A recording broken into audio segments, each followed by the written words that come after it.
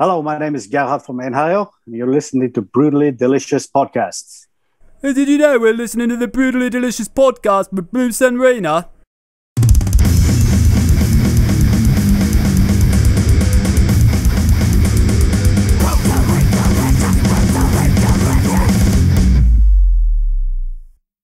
Hey, man. Okay, good. Hi, man. I haven't seen you in a long time. and, uh, it's a very long time now. W- Were you at the cruise last time? Yeah, I was there last time. We spent a lot of time so- uh, hanging One with year. campfire. Yeah. Yep. I look forward to do that again someday. In that little someday. in that little bar that you guys always hang out at by the. Uh, yeah, yeah, yeah. anyway, that's my Yeah. partner Riina. Hello, Riina. Hey, Gerhard, it's nice to meet you. How are you You too. doing? Doing good. Yeah. This, Cool. You know, in spite of the circumstances, really good actually. Yeah. Okay. I- So I would you think say- the last show I've been to may Yeah. have been like you guys or one of those nights there on the boat. I haven't been to anything since then. You? Uh, not really. Uh, that's actually the last gig we had as well on the boat. Uh, well, except for last weekend, we actually had two gigs Really? this weekend. Actually, yeah, With actual had a people really- and yeah, with actual people. how did they go? Uh, really good, actually. Uh, you know, it's um, we had a release date, you know, on um, Friday, last Friday, and we have been planning this, you know, this release party kind of uh, gig for um, well, quite some time now. Right. So, uh, you know, Frode, you know, the vocalist, Mhm. he works at the venue here. It's more like a theater venue, and um, you know, it's like a 550 ish people venue. So at the time, uh, we were allowed 200 people in there actually because it's a seated venue. Oh, nice. Yeah, so uh, yeah, that was nice actually. But uh, you know, one week before the gig, we got new rules. So now it's suddenly only 100. So Oh, wow. we had to, pl- yeah, we had to play Friday and Saturday actually. And everybody's So that's fine. Everybody's sitting, you know, with a seat in between and everything. You know, it's uh, yeah. But still, what But was it was- like finally getting back on stage after a little more than a year, right? it was great actually it was uh, surprisingly little awkward you know i thought it would be uh, worse you know with uh, that big uh, place with only 100 people in it Mhm. but at least it was a gig you know and strange as it is that's the best we can do right now Right. i mean uh, most places you know it was like 10 people or five uh, even you know Wow. here, you know, pubs and stuff like that. It's Yeah. like yeah, so. This was the only place we could actually play with some dignity. Right. yeah, that was nice. I mean, we we uh, were all in anyway, so yeah, Yeah And it's music We don't and care. playing and it's, it's music, and uh, at least those uh, 200 people. Uh, they got to go to a show and they got to get uh, drunk, and that's uh, right. that's all we can ask right now, you know. Absolutely. so yeah, it was it was actually really fun. Uh, so now, uh, what will happen? You know, when the next gig will be, impossible to say. yeah. Riina? Yeah, it's uh, Yeah, hmm? it kind of sucks, Oh. doesn't it? But I'm, I'm Yeah. so incredibly jealous that you guys got to do that and you have that venue. And you're in Norway, right? yes, that's correct. Yeah, yeah, like I'm in I Finland. mean, you're in Finland. Okay, yeah, I'm in Finland. So, like, you know, that this is, you're a neighboring country. So I've been, like, keeping some tabs on what goes on with your corona stuff and so on. And it's so incredibly annoying with the rules changing all the time. Like here in it's very Finland, we- confusing. it's extremely confusing. It's Yeah. so confusing. We just have our like health ministry like write a new law that basically was intended to shut down all the restaurants, shut down all the gyms, you know, like just nobody go there, everything needs to shut down. And then the Yeah. authority or the officials who then oversee the laws, you know, in practice, then had their own interpretation of the law and told everybody that you can you can still stay open if you're just like less than 10 people in the same space at Yeah. the same time. Now they're just like, you know, fighting each other over what is right. And then we have like the venues and the restaurants and the pubs and and everybody like all the entrepreneurs are just suffering and the industries many industries not just restaurants but also the events and so on are just waiting for something rational to happen something that is not under interpretation that is clear and we know something. Of course this is a new situation for everybody. I know mistakes are going to be made. We're human but still oh come on. But you guys had like total lockdowns at some point right? With restaurants and stuff. Well, I yeah, we had total lockdowns with everything uh, from time to time actually because it's very much up and down.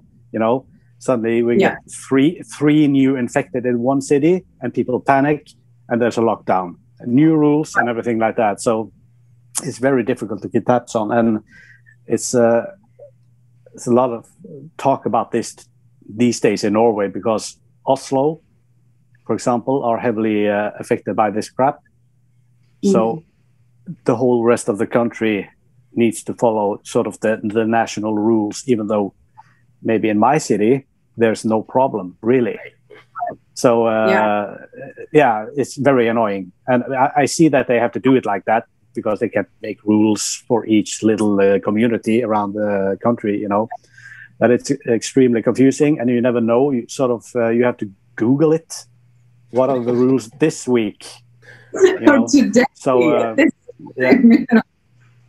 but, But you yeah, said I mean, uh, you said that you are personally doing extremely well even considering the circumstances so does that mean that you're a bit of a hermit like that you oh, that it's oh yeah. not I mean, I, I- you know, I wouldn't go to visit people anyway. You know, I, I, I like my own company. You know, so I uh, go to work every day. I actually been to work every single day, or except weekends, but every day since this uh, stuff started. And I OD on people at- work. So when I come home, I, I like to be alone. Yeah. Uh, the only thing I miss, uh, so to speak, is to, um, you know, go and have some beers with my friends. Yeah. You know, and, and that's not not really possible. I mean, uh, we we we have done so as well, but you sort of had to um, choose the people, which is not nice, you know, because you're only allowed five people, and you know, sorry, you you can't come today, so uh, Right. so we we rather skip it, you know, entirely instead, you know. So it's uh, I don't know, it's uh, not cool. Right. no. I don't, no, it's not cool ab- at all, actually. No, not cool at all. But let's talk about North Star. Now that it's out, what was it like trying to write and put this beast out during this whole nonsense? I mean, obviously it was different, Well, right? Eh, yeah, it was different, but uh, to, to be honest, I wouldn't say it was different in a bad way because we actually had uh, suddenly a lot of time on our hands. You know, uh, everything else was cancelled. Uh, we didn't have to worry about gigs or anything like that. So, yeah, we got more time actually to concentrate on the album, and uh, and even because of this pandemic, it was also postponed. I'm sorry, it's a bit dark in here, but I, I always sit in the dark. So, but um, me too me too dude. no, usually I, I have an, like an empty uh, Word document lighting up uh, my room here. so, yeah, so uh, yeah, because of the pandemic, um, this also got postponed like four months. Was supposed to be out in October last year, and now it was uh, postponed until late February. So suddenly we had uh, a lot of time to actually work on the album, uh, experiment, try out new stuff, and sort of perfect it, if you like. So yeah, it's been actually a good thing for us. You know. as far as promotion and stuff, though, it- it's got to be a tad bit different, right? Because you're not doing in stores and you're not doing any kind of meet and greets or any of that sort of crap, right? yeah we don't do anything like that so uh yeah it's it's stuff like this you know interviews uh yeah, interviews basically that's what we do Right. uh and you know I, we don't know what else we can do i mean we had this gig here but uh, you know that's more like i don't know it's not promotion it's more like an event you know just to okay this is the day the album is out, you know, Right. just to market, you know. So Are you thinking about any sort of live streams down the line? I know a lot of bands are doing that sort of stuff, or is that not on the cards? That's we discussed this uh, at least me and Frode, uh, and uh, you know, I think the answer is no. To be honest, uh, at least for now, it depends on if we get the COVID twenty, uh, COVID twenty one, and whatever. It depends on how long this drags out. But we we thought that we, you know, we we don't need the money. You know, we have jobs, so Right. uh, we're not uh, totally reliant on this band. And I, I understand why people simply have to do it because because of that. But um, we don't really need it uh, because of the money. At least, I mean, we we could do it you know, sort of to make the fans happy. But still, I think we just want to make you know wait until things are fun again. You know, Yeah, it's not the same to stand in a room uh, in front of a camera and you know you, you don't get any energy. You know the audience don't get any energy from us. I mean it's uh, i think it's there are many live youtube videos people can watch. I mean i think that's the same thing you know? You know so at, at least for now the answer is a resounding no Riina? Yeah, that's you know, I, I get it. Like you, you Yes. said that you guys have jobs. That's that's like interesting, always to find out what people do for actual money. You know, I have a day job too on the I have a heavy metal band, and it's not something that will pay my bills. But uh, so what do you do? I well, I work at a shop actually. Um, you know, I, I have uh, sort of undecided in my role in this yet. Since I've been to work every day, you know, Mhm. I'm either a key personnel or I'm expendable. You know, so yeah. Right. Uh, so uh, yeah, I I uh, work at a shop that delivers um, I don't know infrastructure uh, goods for the local community. You know, water, electricity, stuff like that. So I need to go to work. Yeah.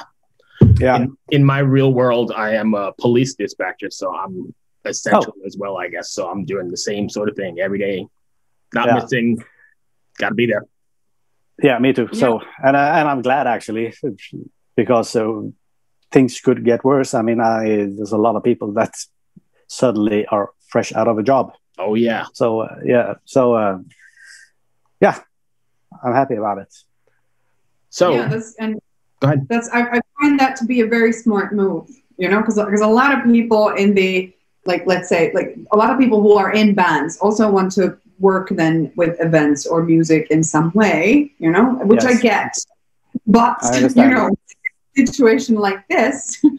It's so much better to not be completely reliant on this one bubble of Yeah, things. it's like you have a, it's like you're collecting all your eggs in one basket. You know, that's the problem.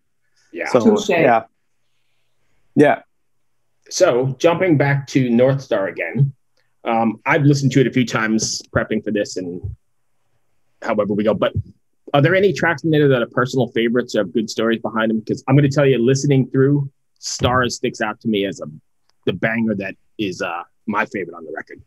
yeah, and uh, yeah. Well, uh, I just want to say something before I mention the song, but because first of all, uh, it's really difficult for for me to actually pick any favorites, you know, because we've been working And they're all, with all of them for so long. Yes, exactly. And at least now, um, this early in the process, the album is just released, and uh, you know, to me, it's you know that album just means a lot of work. Yeah. So I need to sort of uh, put it behind me a little bit. Maybe in five years, I have one personal favorite. Right. But uh, you know, it, it's easier to say that about older albums. uh, You know, when they're sort of settled. Uh, you know, sort of listen to it for years.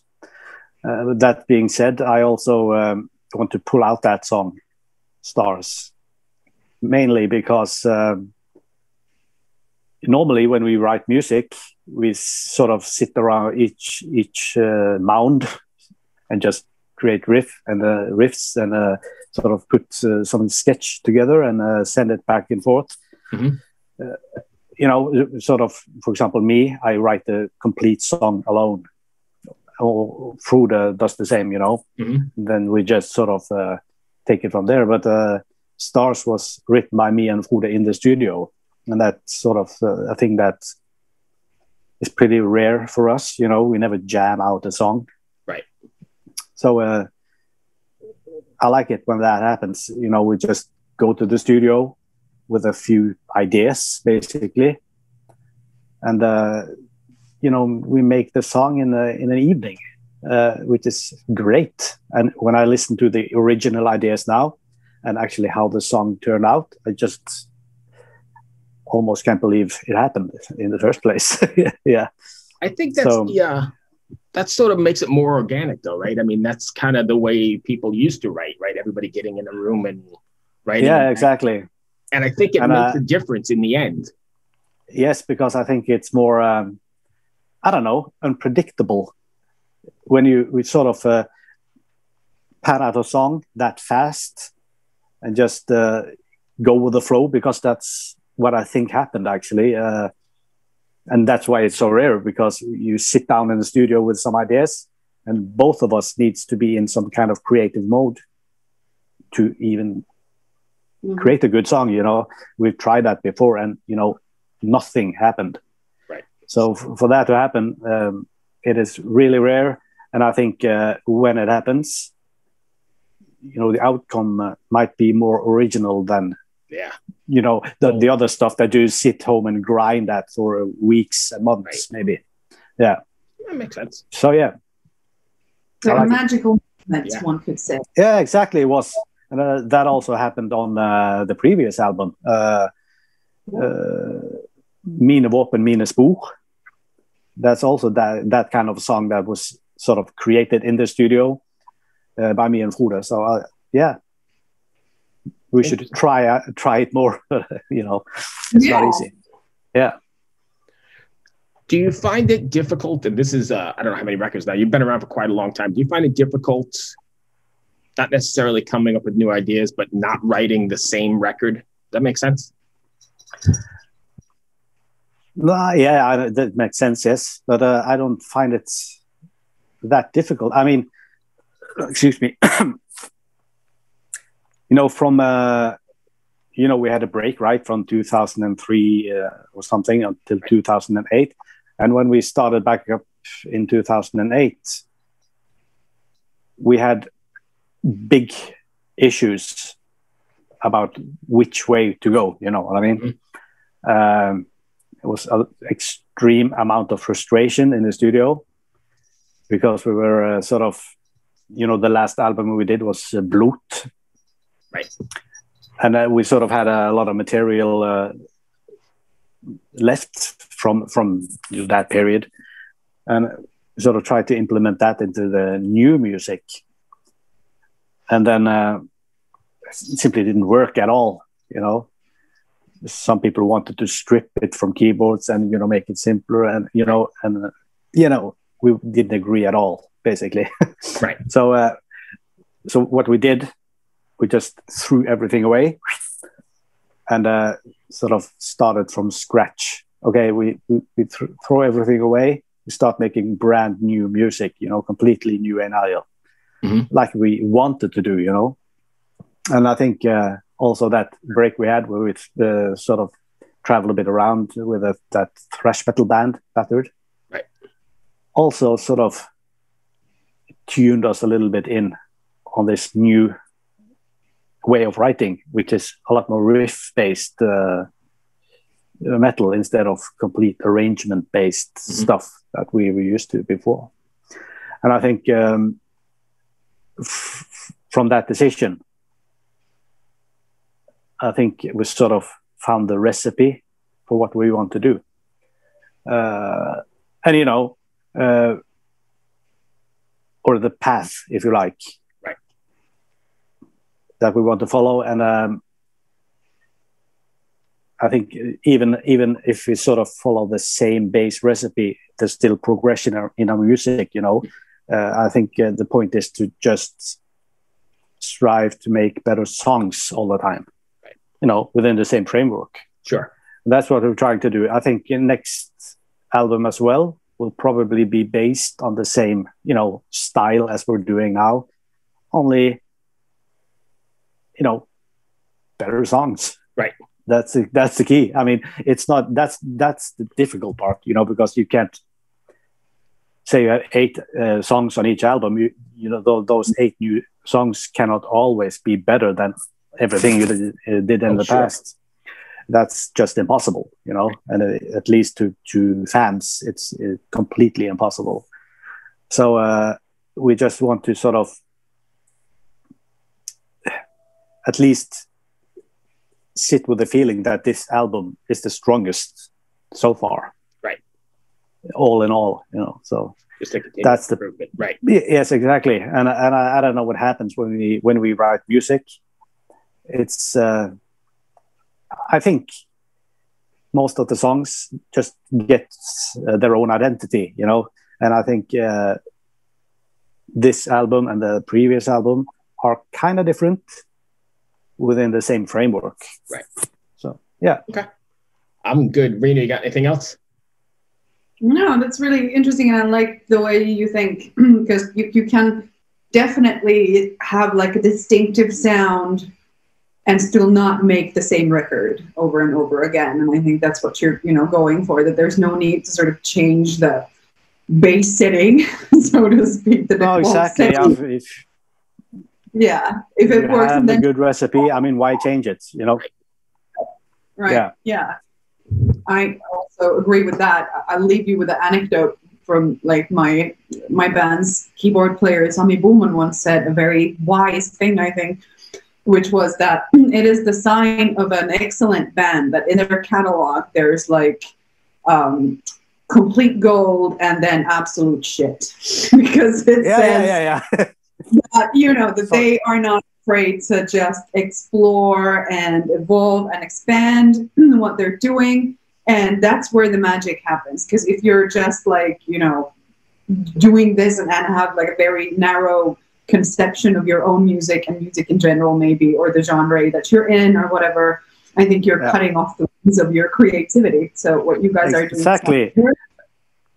and I think uh, even though we have the sort of, uh, I'm just gonna put on my Word document again.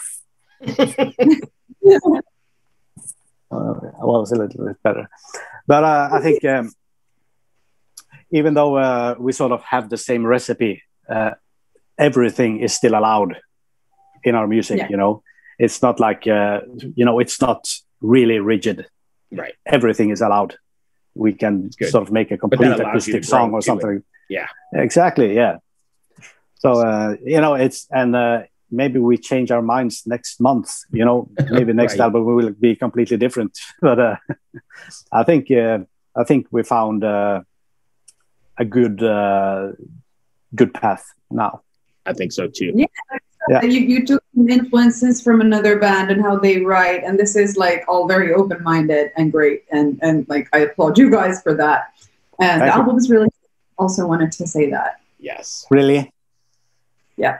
Love it. So I good. love it. uh, uh, sometimes you fall out a little bit. So yeah, sorry. Oh no. Yeah, it works Yeah. in a stupid way that if Bruce now cuts me off, then, you know, there's not going to be two voices, just the one. Ah, okay, Yeah. okay, okay. Wait a second. You're blaming me?